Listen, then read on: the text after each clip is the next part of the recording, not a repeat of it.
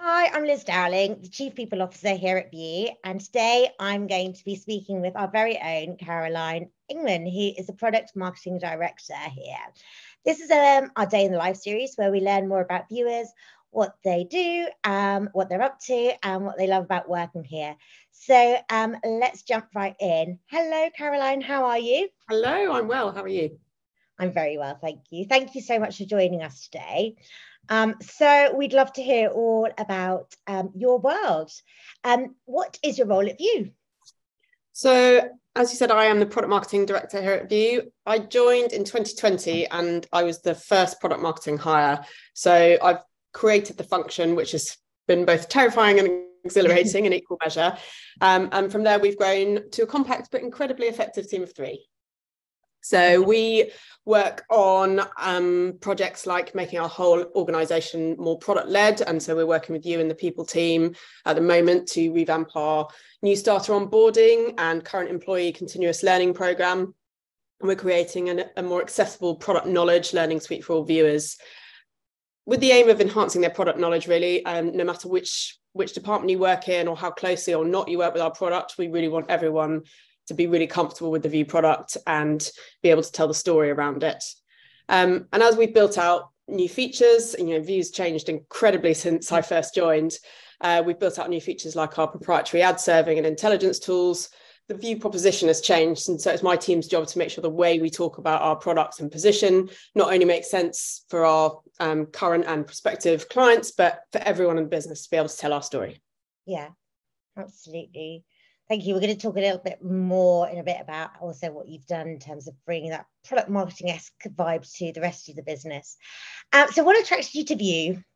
Um, I've always had a real soft spot for out of home. So, my career began at Clear Channel Outdoor UK. Um, and I've always loved out of home as a medium. It's really bold, it's really positive, it's very creative. Uh, and I've worked sort of most of my career in the advertising world from sort of newspapers all the way through to online. And so the focus I've had on programmatic ad tech in particular meant that when the opportunity came to you know combine out of home with ad tech, I jumped at the chance. Um, I was really lucky to be referred by a friend who just moved to VIOOH.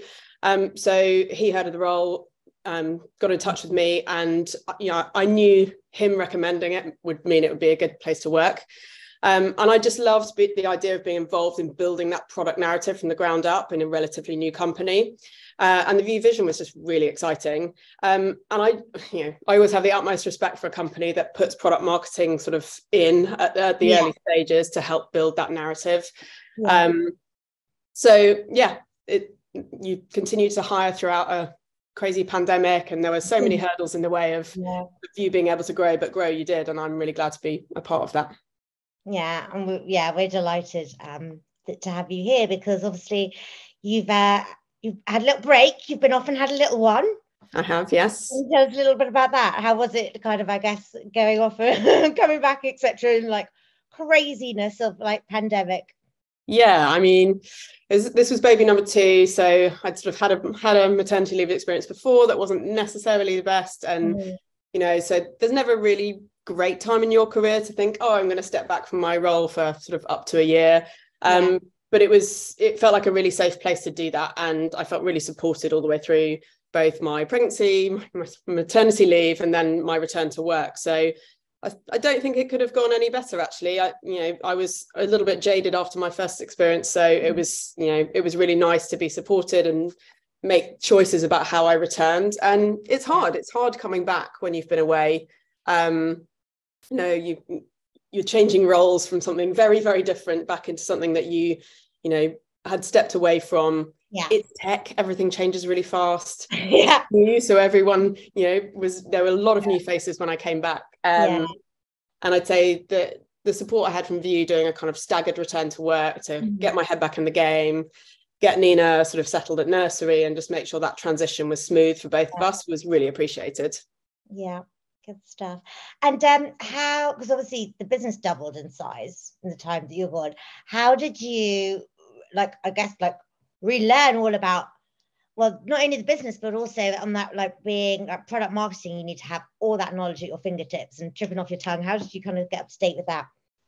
Um, well, I was really lucky that my team had held the fort in a really good way while I was away. Mm-hmm. So, you know, I didn't feel like I had to come back in and fix lots of stuff, which I think is a, a fear when when you spent some time away. Um. But I essentially had to swallow my pride and re-onboard. Um, so I I went, you know, acted like I was a new person again and, and attended sessions where I didn't necessarily have to, but I wanted to yeah. be about those conversations again and and just kind of lurk in meetings and, and absorb and you know not try and get ahead of myself. I think I think that's a mistake people make or fear that you know they should be able to just leap straight back in and you've got you've got to give give yourself time to adjust and, yeah. and relearn because things change people change processes change and yeah, yeah being patient is the uh, my words of advice for anyone coming back in. No see and um tell, share with us a little bit about um VIOOH's maternity or should i say primary caregiver program?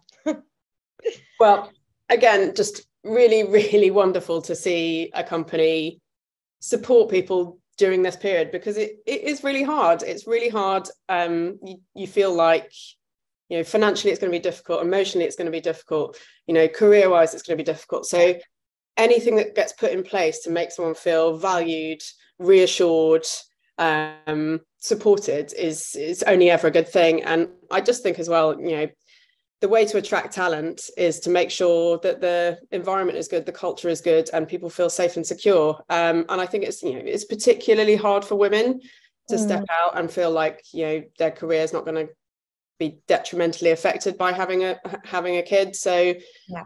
I think I think leveling up that approach and making sure that it doesn't always have to be the woman who takes leave you know there is there is a fair share you know it takes takes two people to have a baby yeah. um so you know there should be that opportunity for for both parents to experience what it's like to be be a caregiver because it's both wonderfully rewarding and incredibly difficult in equal measure. So um yeah anything that encourages that balance um in the the world of work is a plus for me.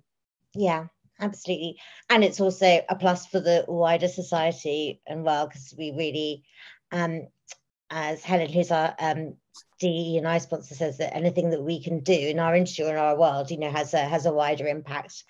And um, outside of and that, what are the um, I guess the, the areas of, of you that you you love the most in terms of well, the employee experience? I know that you've just um, on our um, Coach House program.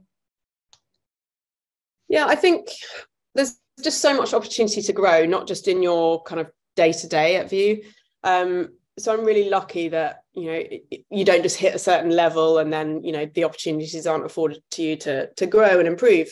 I I manage people, I manage a function, and I always want to be better. So being given those opportunities to spend time working on you know my own skills, my leadership skills, um, you know, growing as a manager, making sure that I'm you know fulfilled in my career as well as helping other people's um, is really important to me. And you know, a lot of a lot of places you'll find that that has to happen in your under your own steam and in your own time. Yeah. Whereas you know, I, I appreciate that VIOOH sort of really puts that in front of us and, and says, here it is, let let's let's go. Um, and the fact that we have you know time carved out on Friday afternoons that we can spend on our own growth is really great because otherwise you know that that sort of hustle mentality can creep in really really quickly. And yeah wall to wall meetings and you know nobody takes time to have a breather and just say right what what do i need to work on? Because mm-hmm. we're all a work in progress um no matter how high up or low down you might be in, in your mm-hmm. career. Is it the beginning? Is it you know are you further in? There's always opportunity to learn more and be better. Absolutely. Yeah never stop learning. Um and you've been um like key part in building um, our workplace architecture, um, being part of CoLab. Um, do you want to share a little bit about CoLab?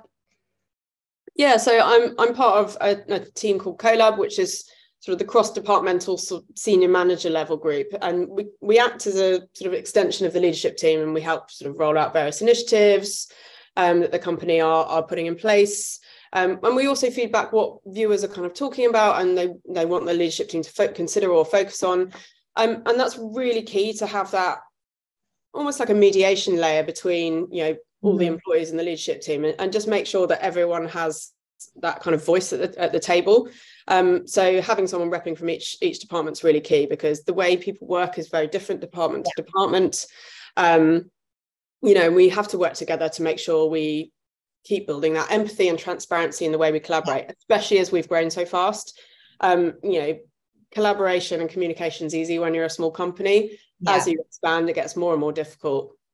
And especially with our hybrid setup as well, you know, yeah. there's lots of different ways yeah. of working. There's lots of different needs from people, the way they work. So that team's really key as, to making making sure everyone's voices are heard and and that information goes both up and down the company and, mm-hmm. and everybody knows what everybody needs and it's great. So you know i spent the first year of VIOOH remote working because it was still lockdown two three i can't remember we had no choice caroline did we? Yeah.